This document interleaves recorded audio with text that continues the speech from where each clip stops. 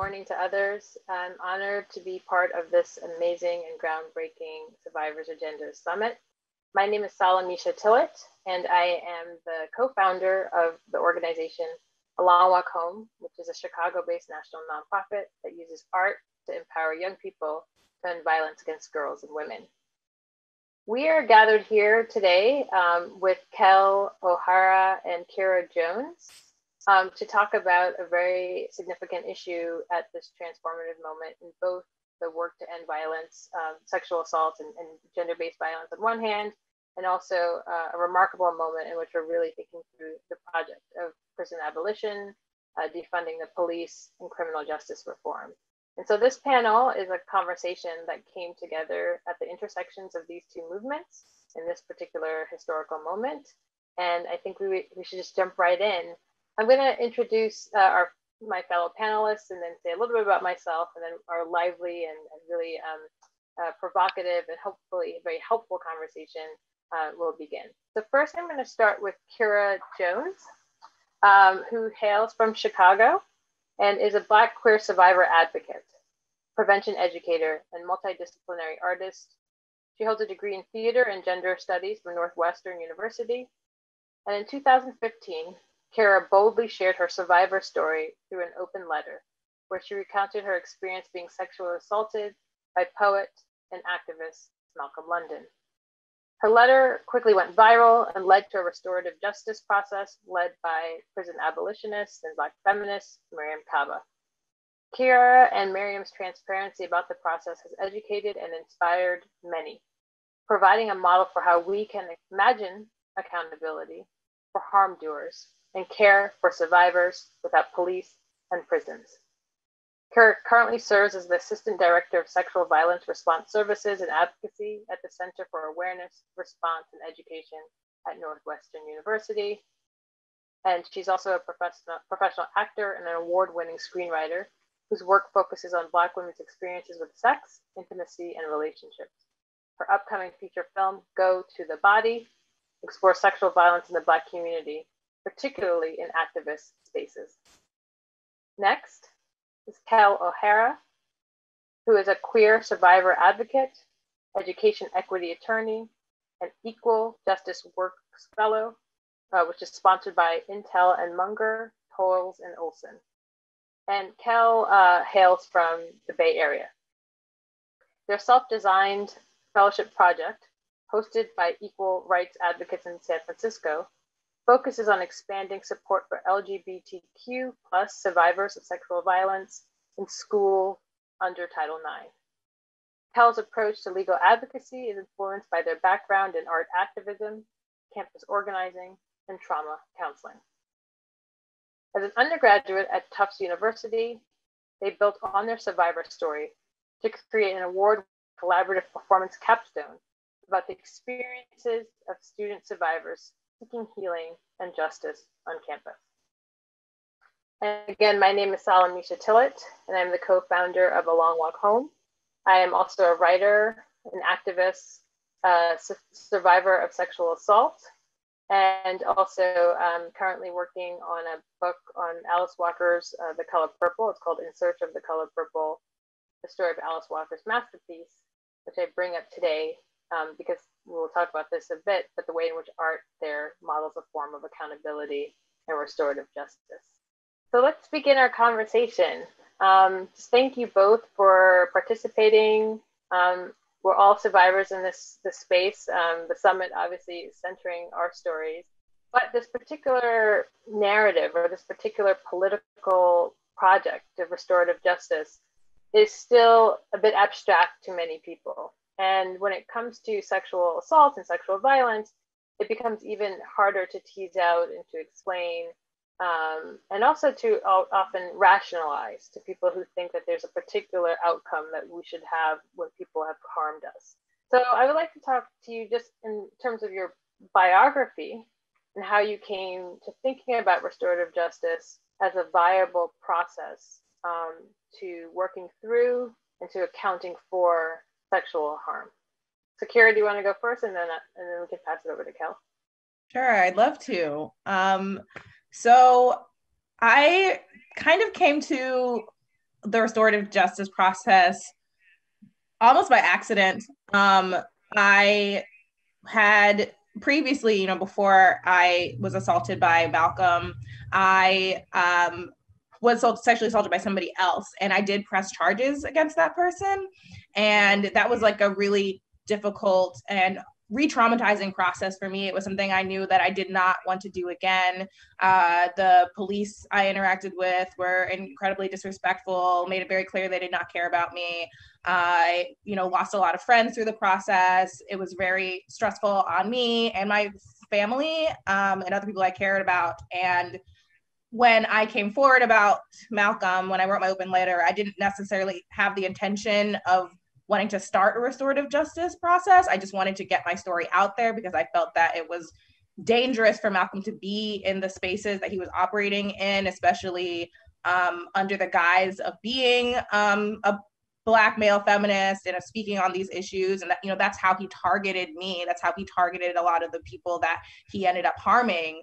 Um, by use by weaponizing like the language of the movement, the language of feminism to to get women to be black women to be comfortable around him. So I wanted people to know what was going on so that they could protect themselves. And when the letter ended up going viral, um, Mariame Kaba reached out to BYP 100, which Malcolm was um, had a leadership position with them at the time, and Mal- uh, Mariame was like, you know, I'd like to offer to uh, lead the restorative justice process for this if Kyra is interested. And I've been working with survivors for many years at that point. Um, I actually um, now advise the student group that I was in. So um, I was like, I'd heard the you know term restorative justice before, and you know was not able to ever really get an answer about like what that was or what it looked like. And so when Mariame offered it, I was like, you know, actually, I would like to to do this to see what this is so that I can explain more and provide information to the survivors that I'm working with.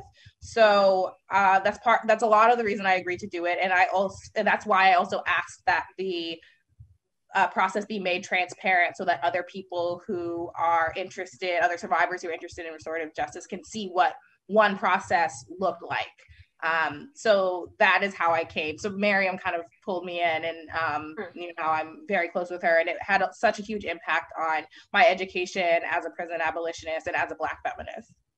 Hmm. Kel? Yeah. So um, my I had a, a, longer road to learning about restorative justice. I um, was sexually assaulted in college um, when I was studying abroad, and so Title IX was not, um, or any sort of campus solution was not available to me. Um, and when I got back, um, it was sort of the mid Obama era campus sexual assault um, movement. So um, I ended up being involved in that. Um, and then went on to be a, a, rape crisis counselor at Bellevue Hospital in Manhattan.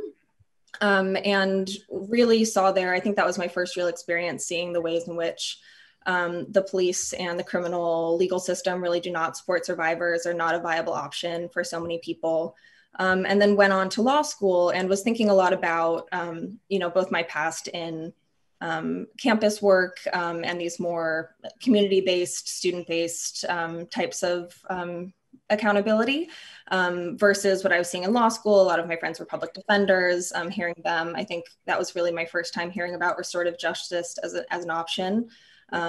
And so really started increasingly thinking about um, when the criminal legal system, as a lawyer, when the criminal legal system is not something that I personally um, believe in or want, um, what else is out there? And I started digging into restorative justice more then. So my direct work is not um, about restorative justice. I'm not a restorative justice practitioner. I am an attorney. Um, but I try to integrate restorative principles as much as I can because I really think that um, I want to believe in a world in which um, you know we are like staying in community we're holding each other in community we are not disposing of people. Um, and i think i've been lucky enough to learn from some really incredible um, rj practitioners along the way. So it's been a really interesting process for me as i start my legal career. Um, i've only i graduated from berkeley law a year ago.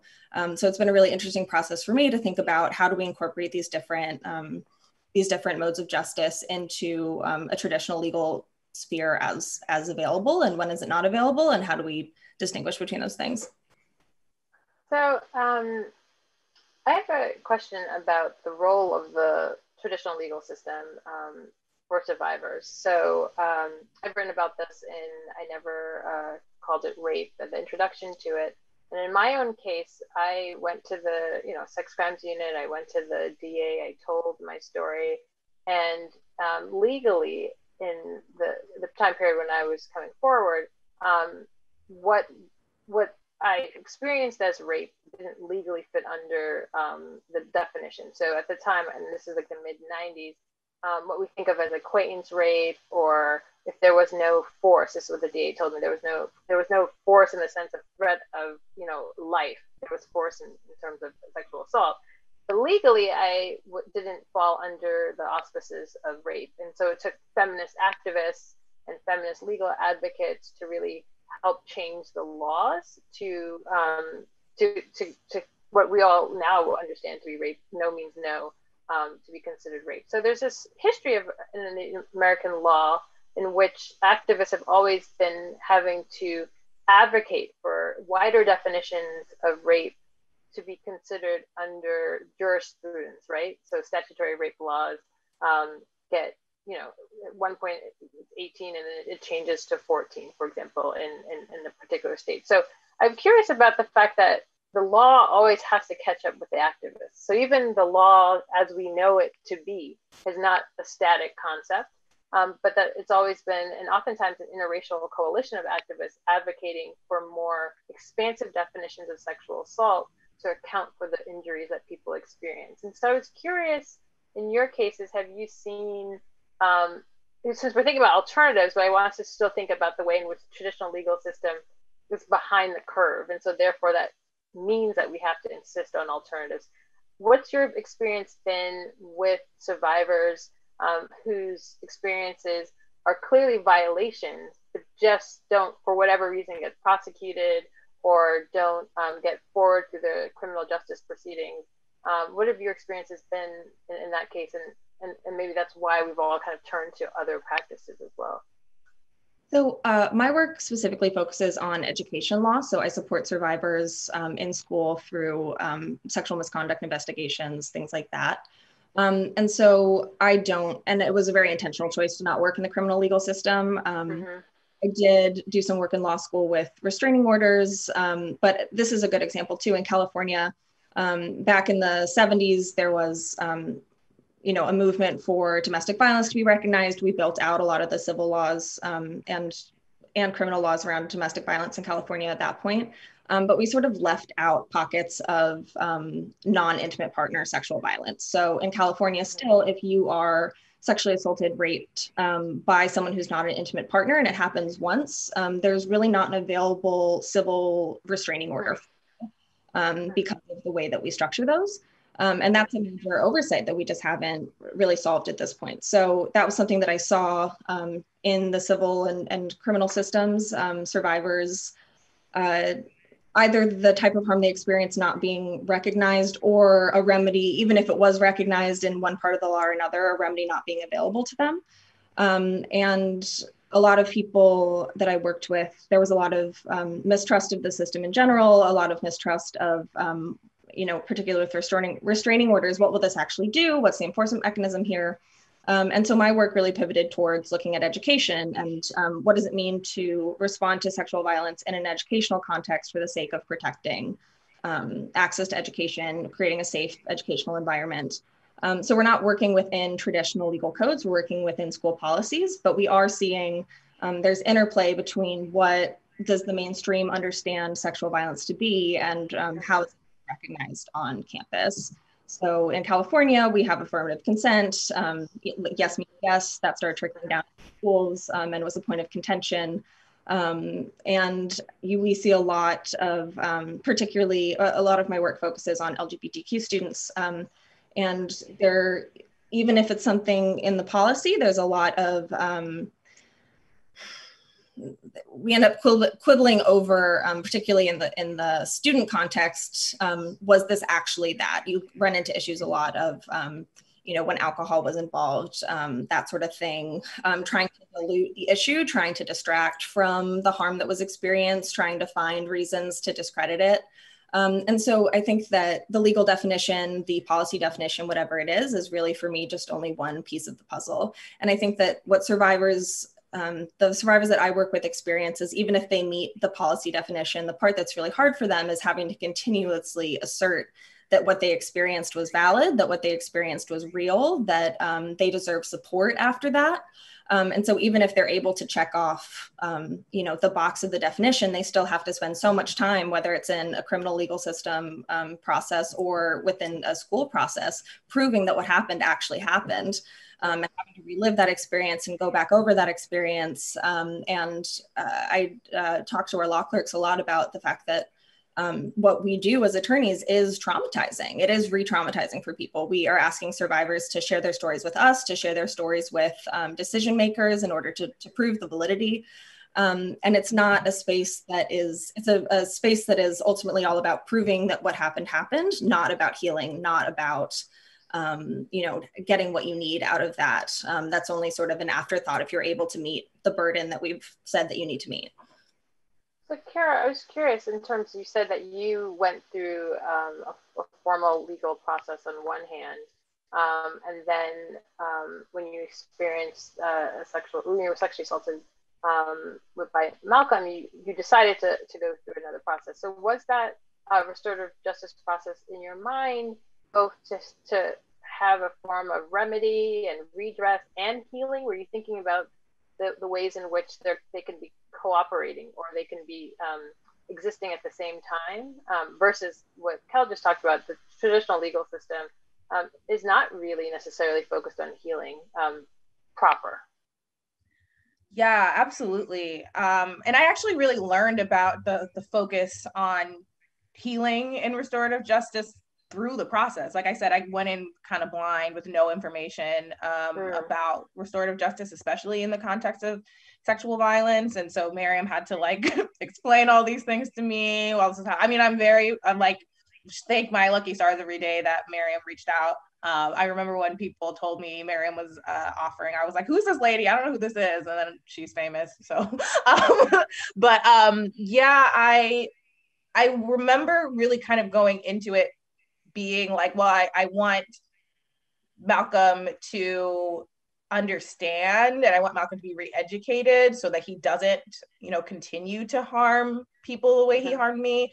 Um, and that was, you know, because I know I knew especially going through the criminal legal process that is not a focus of um of that. It's to punish the person who caused harm maybe probably won't punish them at all. And even if they do like that's it's not effective. We see you know um, the rapists who are incarcerated who are um, put on the sex offender registry like they still reoffend at, at very high rates. In some in some ways it makes them a better rapist because now they have more information about the criminal justice system and like what to avoid and how not to get caught and all of these things. So and i really i wanted an acknowledgement um, of what happened. I wanted Malcolm to admit that he did what he did. And I think that's what a lot of survivors want. They want their story to be acknowledged and affirmed and believed. And I think that's why we're seeing so many survivors share their stories on social media or share their stories through through art.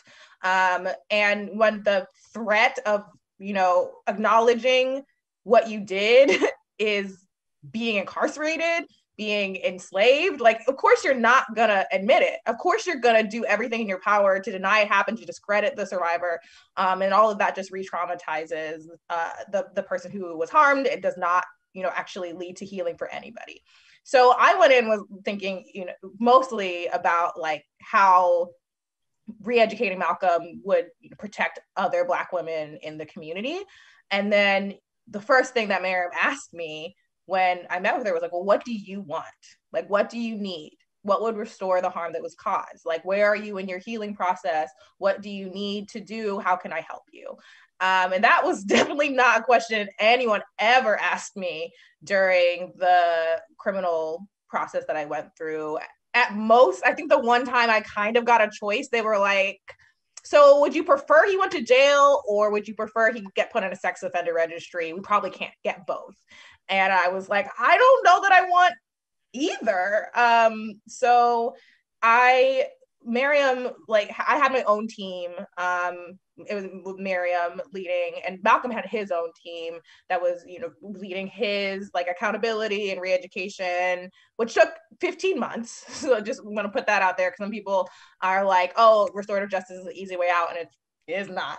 Uh, and Mariame was really mostly in charge of like making sure that I was supported, I had what I needed, was checking in, making sure I went to therapy, all this stuff. And that was truly amazing to have um, the my healing and uh, my care be centered throughout. Uh, and that's really not something that I see, even you know, working with survivors now who do decide to go through any type of legal uh, process, whether that's criminal or civil. That's never, I never see that centered. Uh, so, yeah.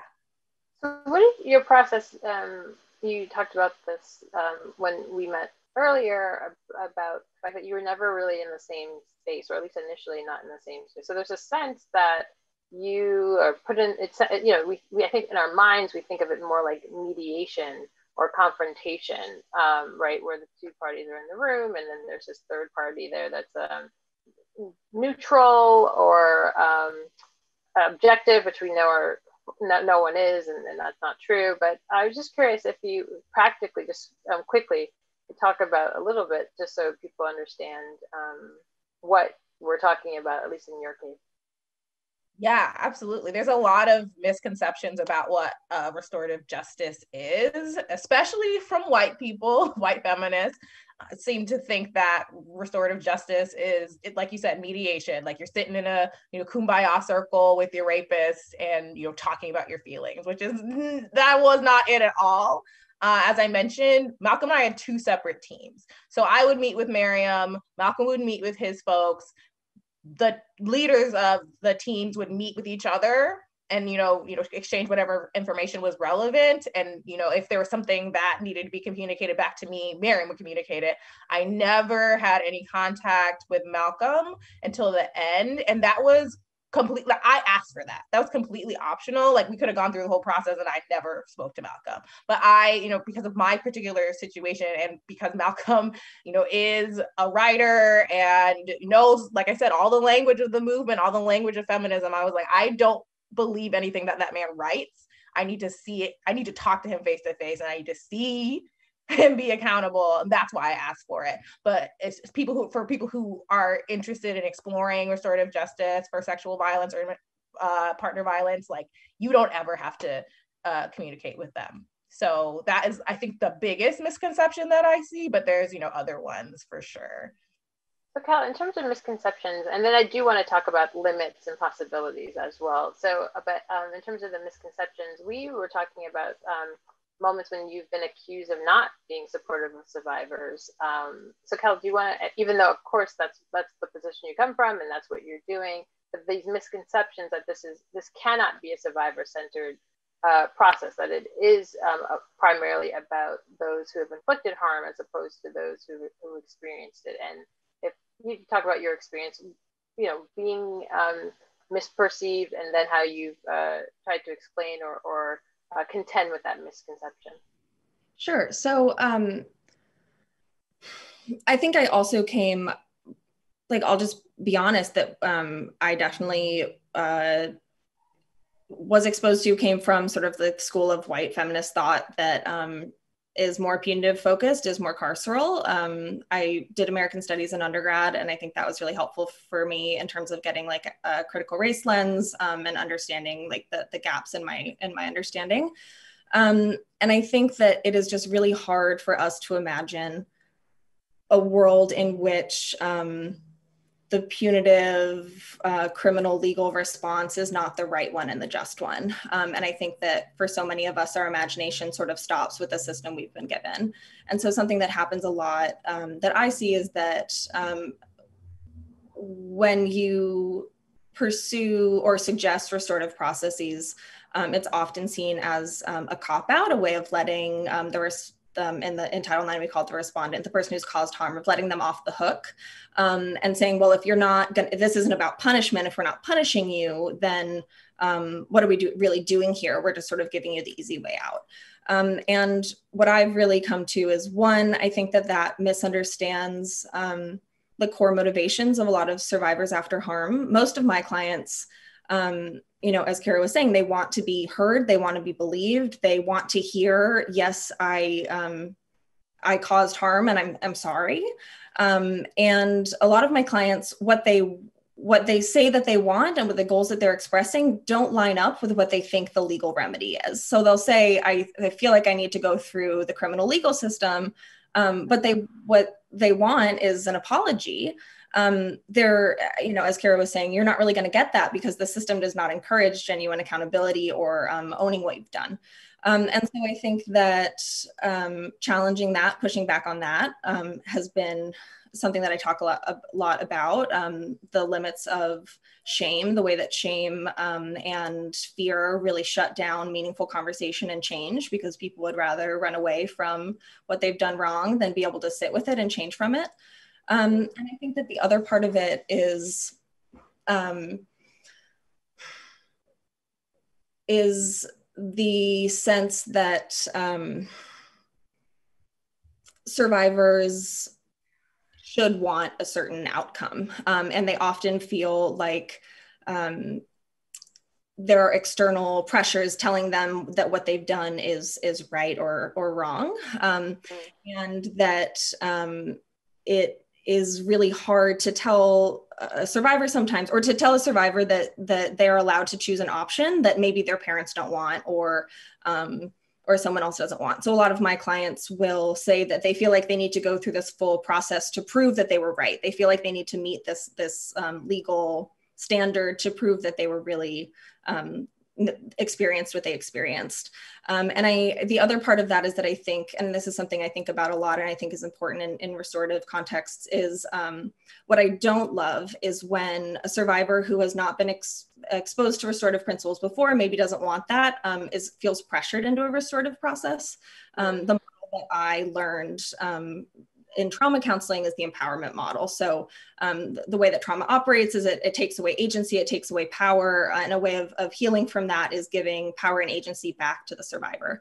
Um, and I think that it is um, a real issue that um, that when a survivor doesn't have that in their frame of reference, when it's not something they're familiar with, it's maybe not something they want um, in a moment of trauma, in a moment of confusion, um, feeling pressured into something that they're not sure that they want. Um, and I, I, do think that um, there are uh, valid concerns about uh, when a survivor has has fully opted into a restorative process versus when they feel pressured. Um, is the restorative process being suggested because we want healing for the survivor, or are we suggesting it because we want to avoid punitive models? Um, and where is the where is the motivation coming from? All these things I think are really important, and I think that grappling with um, any system can be used harmfully or supportively. Any type of accountability process um, can have the wrong priorities and center the wrong parties. And I think that um, being able to engage with that and acknowledge that without completely running away from it is a really important part of this for me. And um, trying to hold that my work ultimately comes from a place of compassion and growth, um, particularly working with students. I really want to believe um, in young people's ability to learn and change um, is really what I continuously come back to. Um, how that um, I think ultimately is more in line with what we want for survivors um, than um, forcing people into a system that uh, you know the dominant um, criminal legal perspective has told us we should want. Yeah, yeah. I actually want to add to that really mm-hmm. quickly. Uh, so I, I, all of co-sign everything that Kel is saying, and I actually, you know, I experienced that when um, so there's been other survivors that have come forward that have been assaulted by Malcolm. And one of the times somebody came forward, I got attacked on social media. People were saying, you know, it was my fault because I decided to do restorative justice instead of doing something that was more whatever the and these were black women that were coming at me. They were saying that I was trying to protect Malcolm, that I didn't care about black women, didn't care about black survivors, all of these, you know, ridiculous things because they thought that he deserved to be punished. Uh, and I had to, you know, quickly shut them down and explain. I'm like, I didn't do it for Malcolm. I did it for me. I didn't want to go through the restorative justice process. And I think a lot for a lot of folks, especially survivors who haven't gotten the type of justice that they would like to see, sometimes project what they think justice is onto other survivors. And um, in in ways that are really hurtful like i i like broke it down to them i was like okay so what do you want me to do what is the right option because um going through a, another criminal process one i probably wouldn't have gotten any result but also even if i did I wouldn't have been happy with that. It would have been traumatic for me. And I'm a prison abolitionist, so I don't believe in that. Um, I can't kill him because then I'll go to jail. So, uh, what are what, what do you want? What do you want for me? And nobody can ever answer that question when you when you break it down like that. So, um, you know, I think you know I know restorative justice is not for everybody. It's not for every situation. I would never push someone to do it or suggest it unless it was something that they told me they were interested in. And you know, even Mariame has said restorative justice is not for every situation. Um, but for some reason, people think that me going through it and being public about it is is me saying that everybody has to do it and i, I don't believe that. Um, and additionally it is um, really important yeah like how was saying that restorative justice has to be consented by both parties. Um, you can't be forcing anyone to to go through it either whether it's the perpetrator or the survivor um, because you know again if you're forcing um, somebody who caused harm to to go through this they're not going to be genuine about it. They're not really going to be taking accountability. They're just doing it because you're telling them they, they have to or else there might be some other type of consequence. And you know i've also been experienced especially again you know activist circles where someone has caused me like some kind of harm and I have been like, so now we have to, because I harmed you, now we have to go through this restorative justice process. And I'm like, I actually, I really don't want to. And they'll be like, but you're not letting me be accountable. Like, you have to do this. And I'm like, I, am the person who was, you caused the harm. You can't make me do this. Um, and it's happened to me multiple times. So that is another thing. Like, this, it has, like, it cannot be survivor centered if it is not consensual. Um, and so that is something really important for people who are looking, especially to integrate restorative models into their organizations like you still it has to be voluntary. You cannot be making survivors or people who experience harm feel guilty for not wanting to go engage in it or wanting some other type of justice. I have a, just a kind of a, a question about um, you know obviously each situation has a different um, like uh, example of what a successful or survivor centered um, process looks like. There's no one size fits all. And so, depending on the circumstances and depending on the, the individuals who are participating, that determines you know how good the outcome is or how harmful the outcome is. That's what uh, I think we've established. And so I was thinking about with A Long Walk Home, our work is primarily with um, young women um, and girls, right? So, uh, so questions of, you know, whether how you know children and and whether they can advocate for themselves in this process is a, a, question that you know we can wrestle with or grapple with. It seems to be that there are moments when it may not be as easily achieved if a child cannot even give consent to the process itself right? So whatever process we're talking about in terms of accountability children just don't have the ability the same ways adults do to to, to it's their parents are determining and so that's an interesting, you know, that's the population we primarily work with um, in Chicago. And so I was thinking through this idea of what happens when young children are sexually assaulted and what a restorative justice process could or could not look like um, there. But also, I was thinking, um, Kyra, that we talked about this idea that your process was successful, and yet the person who may have participated in it has um, maybe a serial uh, harmer, right? So that so the both can be true, which is it's complicated, I think, for people to understand that someone can participate in a process um, and it be successful on one hand, and yet they continue to um, do harm. And so whether they were actually participating in it fully or if they were using it as a cover is, is, is up. That's on them. But it is a, a question of um, it's just a it's a complicated scenario, right? And it's a complicated process. Um, and so I wanted you to just say a little bit more about that notion that you that was successful and yet and and yet um, you can't control this other person's behavior after that moment and clearly had no control over their behavior in which they harmed you right? So. Yeah.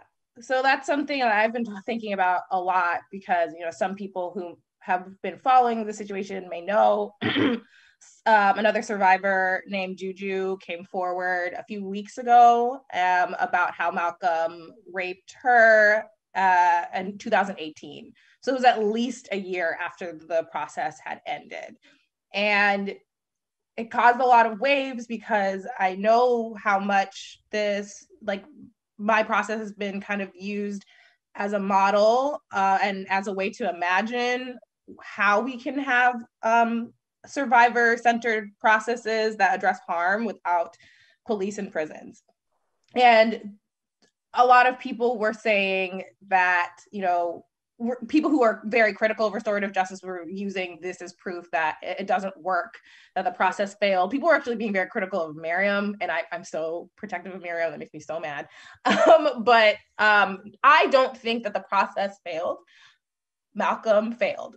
And I kind of try to explain to folks uh, that the process is the restorative justice is kind of like getting um, one of those meal prep kits from like Hello Fresh or you know whatever, uh, and you have all the ingredients and all the steps to you know make your chicken parmesan or whatever it is.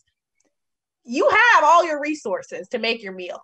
If you if you ignore the the recipe and you leave the food in the oven for too long, you burn it, you don't get your dinner. That's not Hello Fresh's fault.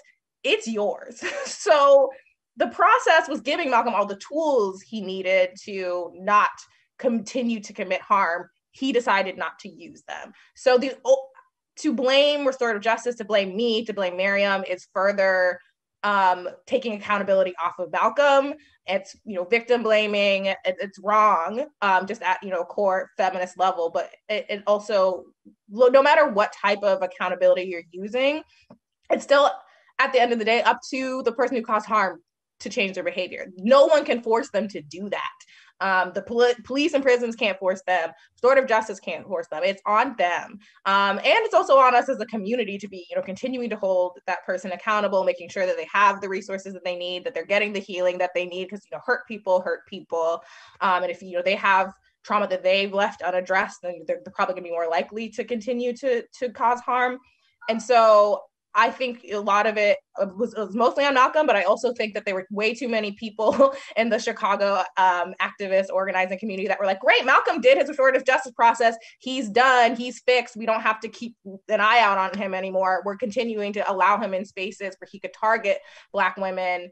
Um, and then this happened, you know, all the people that were assaulted by Malcolm were black women activists and artists. He had he targets this group. So like not as a punishment, but as safety. Like he needs to be removed from those spaces, and people were unwilling to do that because they were more invested in him and Black men than they are in Black women and our safety. Sure. And I think the other thing that's important to name as part of that is um, it's not like the criminal legal system and incarceration are known for their strong rehabilitative powers. You see really high recidivism rates. You see um, sort of this like rotating um, a lot of folks who are incarcerated are, are incarcerated again, and that is uh, due to a lot of things. Um, you know, over policing of, of Black communities and communities of color, um, inadequate social support, et cetera. Um, but it's also, you know, prisons don't heal people. Prisons are not places where, um, for the most part, uh, folks are given an opportunity to um, genuinely reflect or change or grow. Um, and so unless you want anyone who's offended to be incarcerated forever, you have not actually solved the problem by suggesting that we go to criminal the criminal legal mm-hmm. system. Um, and for me, I think it's a really it's a really uh, negative view of the world to assume that everyone who has caused harm does not want to do better that we should not be engaging in a restorative process because we should assume um, that if you caused harm you will continue to cause harm that this comes from this really deep rooted bad place which is not to say that there are not people who um, who reoffend clearly. Um, and and again like restorative process the restorative process is not um, for every situation for every person. Um, and you know in my work we talk a lot about um, when is removing someone from the school community appropriate? Um, one we look at a lot is serial offenders. So is this made a pattern of of targeting um, particularly vulnerable people within this pop- within this educational population, in which case um, you should lose access to that educational that particular educational environment and opportunity.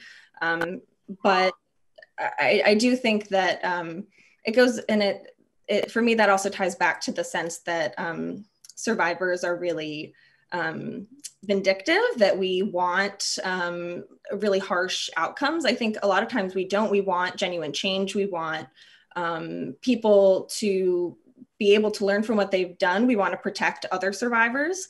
Um, and i think that restorative um, any sort of restorative process it's not that a restorative process never includes something that might be considered punishment um, such as asking someone to stay away from um, a particular community or group of people but it's not done for the sake of um, punishing someone um, exclusively it's done for the sake of saying okay like what are the what are the consequences for your behavior? Um, and i think that it's really important it's really important for me to not get bogged down on the most extreme response or the the assumption that we should go automatically towards the most punitive response. Um, and that restorative justice does not necessarily have to con- conflict with there is accountability in that um, accountability and punishment are not always the same thing um, and i think that um, punishment for the sake of punishment often just hardens people into their perspective and and makes it so they never really genuinely reflect on um, on what has changed. But ultimately, um, I don't think that we are that it is a cop out um, or anything other than pretty radically um, compassionate, radically caring, and grounded in community um, to believe that people can be educated and can change, um, and that that is ultimately for the better of of everyone, including the survivor. We, we oh, sorry, I was going to say we all cause harm. What you know might not be sexual harm, but we all cause harm, and for us to say that like nobody can grow, nobody can change. Uh, you know, people who cause sexual harm must have to automatically be disposed of. You know, that means we all need to be disposed of. And you know, I'm I'm seeing personally a shift in how people are thinking about consent and understanding accountability. And I have, you know, a lot of students more and more come in because it was brought to their attention that they did something that, you know, made um, a sexual partner uncomfortable or, or was harmful to them. And they're like, I didn't know that this was harmful. And I want to learn so that I don't do this again. Like, what are those resources? And I frequently don't have resources to give them. And so I think that we should be giving people you know the opportunities and the time and the space to, to learn and and educate themselves so that they are practicing um, consent more uh, enthusiastically so that you know they don't continue to offend. But if we're just if even admitting and seeking out um, those resources is going to end you know in punishment and disposal then there's not ever going to be a possibility of a of a world without police and prisons. We really have to grapple with this conversation. Yeah, and I think it's um, complicated for some people because uh, the fact that so few, going through the traditional legal system, so few um, assailants or harmers are actually, you know, 16% that actually end up in, but there's a, there's a, you know, the traditional process, most people who do this harm actually aren't held accountable. Um, and so, in some ways, the idea of having a more expansive accountability process, um, it sounds like, uh, in terms of the students that come to, to you, Kyra, and I assume also, Kel, that you may have experienced as well, um, that a more expansive process also leads to um, an attempt to, uh, you know, acknowledge or work through other harms that don't actually necessarily fit into the um, extreme cases of sexual assault, but that are part of the spectrum of sexual violence. So that's actually really, you know, so, so these things can be attended to more, even um, in, a, in a more expansive process. So it kind of makes sense that that would be the case.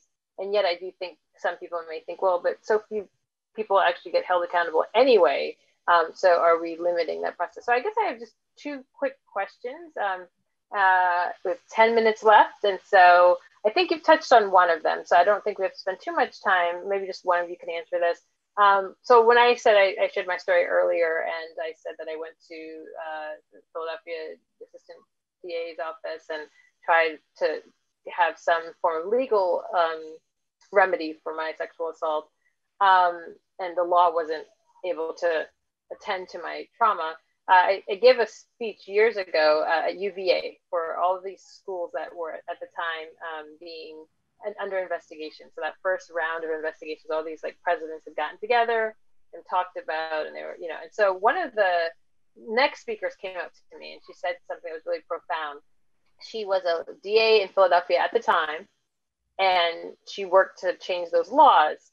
That's why she started doing Title IX advocacy because she found that there was more room in Title IX advocacy uh, than the criminal justice system. And so to me, it was really interesting that I was there in this moment when all these universities had failed, uh, right?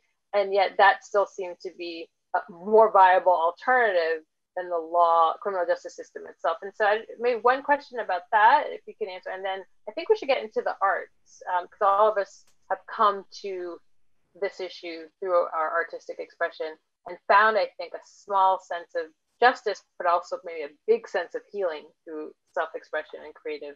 So, one, just anyone want to talk about Title IX within this conversation? Yeah, I would love to. Okay. Um, so, uh, Kyra, is that okay? Yeah.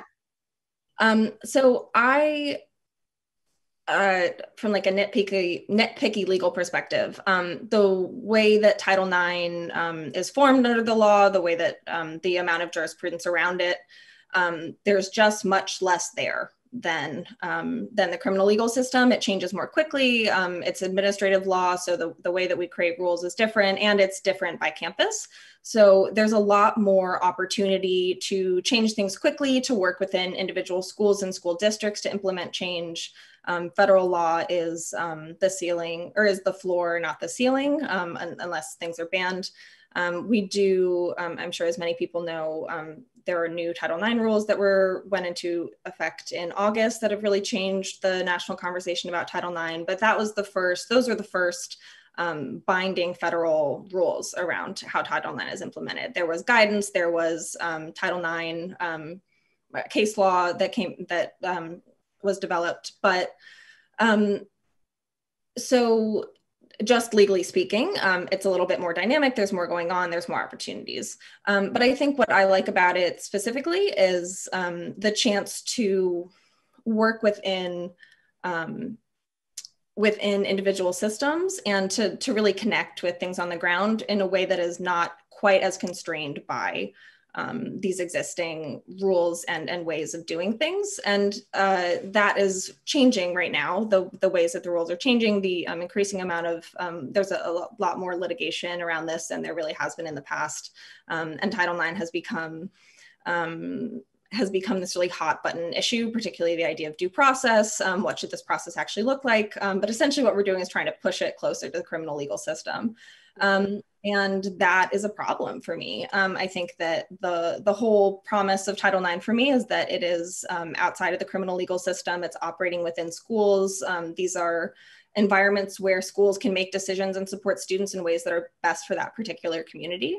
Um, and I also, I, I, said this before and I come back to it a lot, I, I, just really believe in educational institutions as sites of, of learning. And um, to go back to something that, that um, you said earlier, um, the um, completely lost that train of thought. That's okay. Um, but no, I, I, Title IX has been um, a really a gr- really great avenue um, for my work and something that I really value. Um, and I really do um, value the chance to um, to help young people learn and to to give them different opportunities. Oh, about shifting campus culture. I think that um, a lot of the sexual harm um, or, or negative experiences that happen on college campuses are, are a result of campus culture and are not don't that don't necessarily meet the definition of sexual violence. I think about a lot of the bad sexual experiences I had in college, um, and I wouldn't call them consensual, but I wouldn't file a complaint about it. There's nothing legally actionable there. Um, I wouldn't have brought it to the school, um, but it was still a problem. It was something that stayed with me. It was something that um, impacted my view of, of sex and sexuality and um, how I should be treated. And I think that um, using Title IX, using um, you know campus environments in general to shift how we talk about sexual norms and consent, and having sexual violence be uh, response be one piece of a larger puzzle um, in terms of how we talk about, um, you know, sex and respect is um, a really important part of that for me as well. Thank you. Um, and Kyra, I guess uh, it's my last question. So, you know, you and my sister, who's the co-founder of A Long Walk Home Scheherazade Tillet, are are very close. And we did, uh, you know, have an open letter in support of you, but also the other survivors who've come forward. Um, but our organization is an art-based organization. When I shared my story with my sister so many moons ago, she then asked if she could photograph my healing process, and it is through the arts that we found a really viable tool of self-expression, of accountability, of healing, of organizing. And so, um, when we were discussing this earlier, I was saying that sometimes art stands in the place of the, the legal justice stands in the place of accountability. And I just wanted you all to, and it, it can't make up for it. It's not full enough to, and it's not fair to art to be the thing that has to stand in for civil society. Um, but uh, it is a place that we've all turned to. So, uh, in the closing moments here, do you, you Karen and Kel, want to talk about how you turn to art um, to heal and to find a sense of hope and justice? Yeah. Um, first of all, I want to say I love A Long Walk Home so much. And they've been so supportive of me throughout this whole process, even before you knew who I was personally, immediately um, were supportive of of my coming forward about Malcolm in ways that uh, other organizations in Chicago have not been. Um, so thank you for that. If you all are not familiar with the Long Walk Home, please familiarize yourselves, uh, get involved, donate, um, buy their Got Consent shirts. They're so cute. Um, but I, yeah, for me, you know, I was an artist. I've been an artist my whole life. And for me, art is protest. Um, it's a way for me to imagine the world that I want to see and also to reflect back the world that I'm, I'm currently in. And, you know, sexual violence, especially, is something that is so personal and you know there's not a lot of witnesses to it and even the healing process is so personal so for me film um, is a way to let people in on what that process is. I really hate the way that sexual violence and healing from it is depicted in in most film and television, with the exception of like I May Destroy You and a couple of other things. And so, you know, with my film, I wanted to, you know, to your point about like you sharing your story with your sister, I wanted to bring it, you know, focus on sexual violence in the Black community, um, a more realistic, one realistic pro- uh, um, her journey to heal that does not involve police and prisons and also bring in secondary survivors. Like sexual violence does not exist in a vacuum. It affects the whole community. And uh, it's also a boxing film. I just like to box. But um but I, I, I wanted to kind of also explore like masculinity and that there that ties to it and you know how are black men involved in the fight against sexual violence and what are the misconceptions about what protecting black women mean because we also like kind of um, automatically jump to like physical protection. Uh, but i also you know i i do comedy. I, I like laugh laughter is healing for me. And um, i think comedy is a great way to uh, shine a light on political issues or um, you know gender-based issues racial issues that are that is accessible. So i also have a, another project about you know black women and sexual pleasure and the orgasm gap and kind of imagining what it would be like if you know we did center our pleasure. We got all the sex education that we deserve. That you know, if we you know all went to sex shops together and we're not ashamed of that, um, and talked about our orgasms because you know we can't separate sexual pleasure from sexual violence because if we were pleasure centered and you know really um, pleasure is on you know if we're practicing consent as well as we should be, everyone's having a good time. Everyone is is pleasured, and um, so we I don't separate um, sex education and sexual pleasure from you know anti-sexual violence work. Yeah, uh, it looks like we have 30 seconds, Kel. Do you want to say any closing thoughts? And before that, everyone, just thank you for being part of this conversation. I'll hand it over to you, Kel. Thank you both so much. Um, I guess my closing thought would be um, I was a drama major. I um, was involved in theater my whole life. Um, I'm a drag king now. Um, so, you know, I find um, performance um, and and being on stage um, you know beautiful and, and life-giving and, and part of what sustains my work. But i think particularly um, in the context of healing and survivorship um, the sense of community the sense of um, creating with others the sense of um, supporting each other through that. And i think that um, a lot of the the love and care and support that I gained from artistic community and um, artistic survivor spaces is part of what led me to restorative justice. So Thank you both. So, um, art heals, art gives us a vision of the present and future that we may not have yet realized. So, thank you both, and thank you, Survivors Agenda Summit, for this incredible conversation. Thank you.